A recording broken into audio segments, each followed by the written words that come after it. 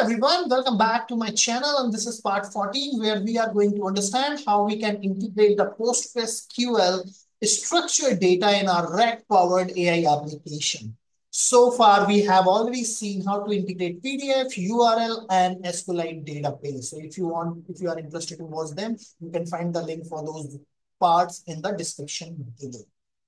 I would highly recommend you to watch my part 13 because in part 13, I just loaded the data to the Postgres SQL and that data is very, very real-time based data because I just created a 733 questions related to the system design concept. And let me quickly walk you through with that code base, right? If you just see on my screen, we have 733 records and if I just extracted five record, this is the structure. We have ID, question, and answer. And these are the questions which we have, which are related to the system system design concept, like how latency impact user experience. What are some common methods to optimize throughput in the distributed system, right? So these are the questions and the answer which we have. So we have understood how we can load that data in the previous part. So in today's part, what we're going to do, we are going to integrate this data. Basically, what data we have in a PostgreSQL, we are going to extract that you can see the flow in the in the in the in the screen like i mean first we are going to uh, you know we are going to make the connection to the db which is a standard way of extracting data. We are going to extract the data create a chunk create embedding and just load it to the Pinecone db if you if you want to understand these chunking embedding and vector database concept you can watch my another tutorial series where i just cover these topics in very detail. Even if in this tutorial also i try to just cover all these then uh, the rest of the logic looks same. I mean, we extract the document with the vector similarity score, rerun with the re-rank model to have more accuracy, and then the flow looks pretty much same. Like, okay, whenever any query comes in, you know, context is going to be created with the vector similarity score uh, resulted document, which actually undergoes to the re-rank model to provide us a more accurate context. And eventually then we make a request to the LLM through which we just get the precise answer right? So let's quickly get into the demo part. What we're gonna see is first we have to implement the backend part, and before doing a backend part, we need to see what kind of library we're gonna use. Since it's a Postgres database, so we are going to use a library psycopg2 binary. So installing that is very straightforward. Pip install and the name of the library. You can come here and you can just do this. Since I have already installed it, that's the reason it says requirement satisfied you know, and then what you need to do is we have to build a backend. So what I have done is whatever the code we have written in our previous part, I just created this rag app underscore postgres underscore db URL PDF. You can just do whatever you want, and you can just copy this entire code base here. Now, the very first thing, once we have a library uh, uh, installed, then we have to import. So these are the two import statements which we need. The first one is going to give us the ability to just create the connection to the Postgres. And then we are going using this SQL class from the same uh, module where we are going to just make our query parameters, right? So these are the two important to.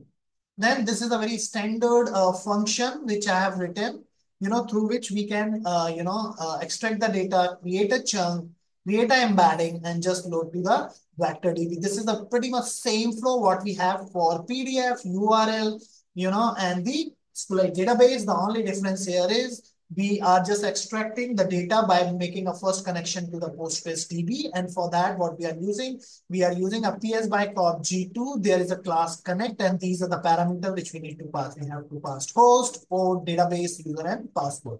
So once we pass these five things, then we are going to get the connection. Once we have a connection, we can create the cursor.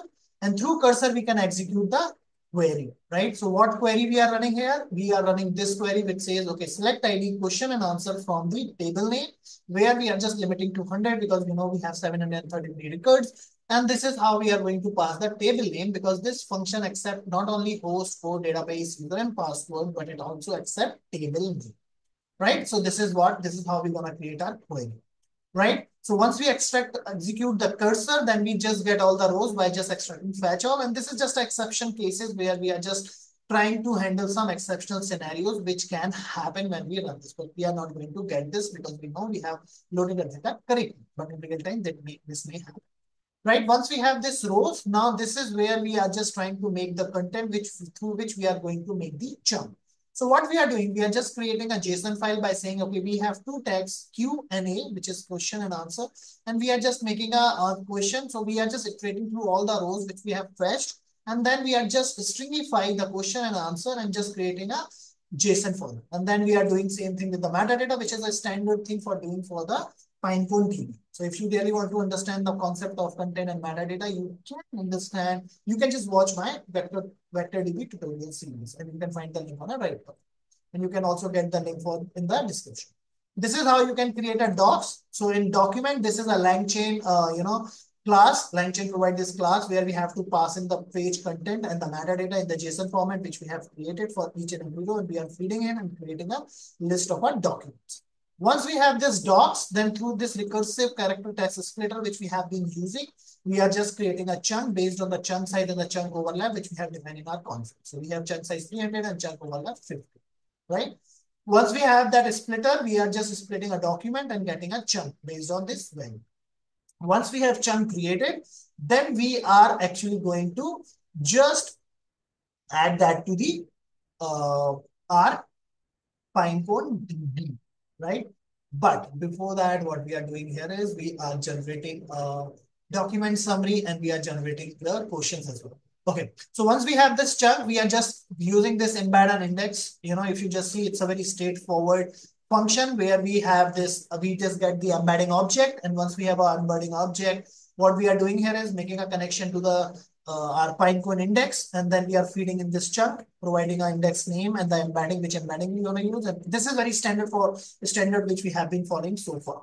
Okay, so this is how we are going to just upload the data right? So this is the backend implementation. The next is the uh, the front end implementation. In front end implementation, uh, let me just quickly post, copy and paste this part, and then we can just quickly go through with each and every line of code. So here, it's uh, again a new tab I am adding for Postgres ingestion. Uh, then the markdown, we can see. Now we have, you know, multiple uh, text box, first for the host, port, database name, username, and the password and the table name. These are the six text box which we need because we are going to execute this function which requires six parameter and we know the concept of in Gradio. Whatever number of uh, parameter we need to feed in, we have to pass that through our Gradio on UI logic. So that's the reason we have this six, uh, you know, input boxes. Then we have three standard output, which we have been using for every, uh, you know, every uh, data source. We have a status output, like how many chunks is uploaded, then the summary and the five best suggested question based on the data we feed. So this is what we are doing. And then we just create a click handler here and calling the uh, executing the function with the input and the output fields. So this is what you have to do from the coding standpoint. And then we can just come here and we can just try to run this code and see if I haven't made any mistake, then we should be able to see.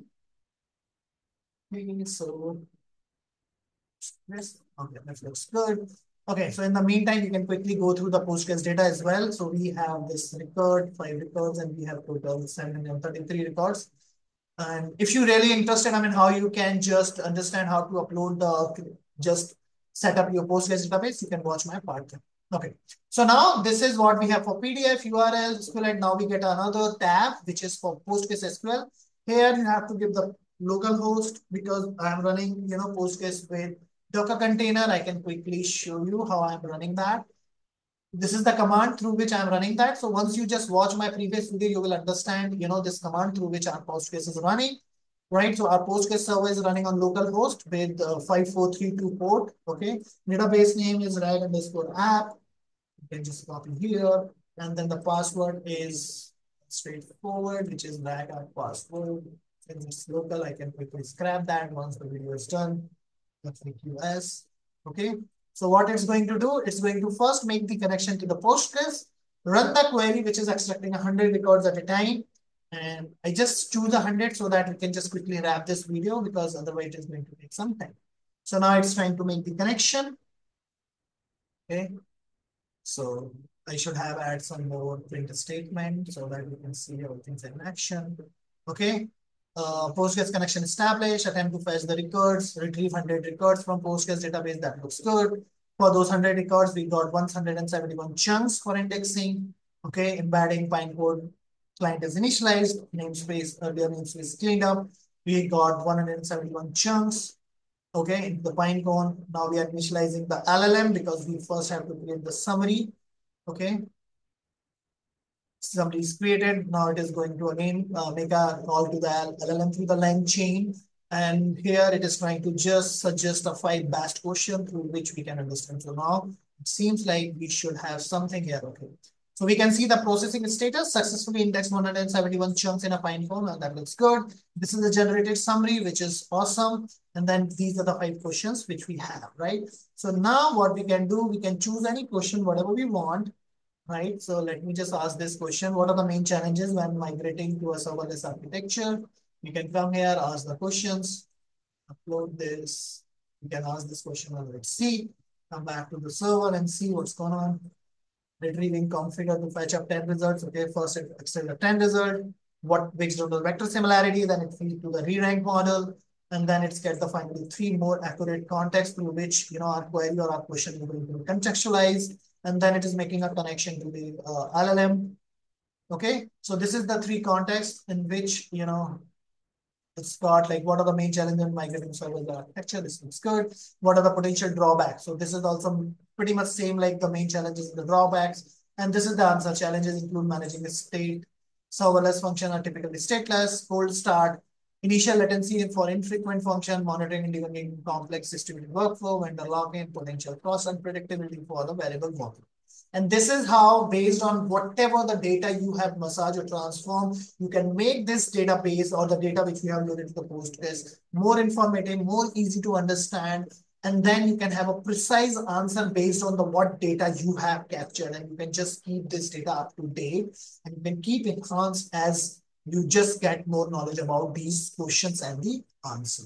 So this is how you can just integrate the Postgres structured data as well. So that's it from my side for this video. If you have any feedback or suggestion, please feel free to put that in the comment section and I would love to incorporate that in my upcoming videos. Thanks for watching this and as always, stay healthy and keep learning a new thing. And if you haven't subscribed for my channel, I would ask you to please subscribe for my channel as well.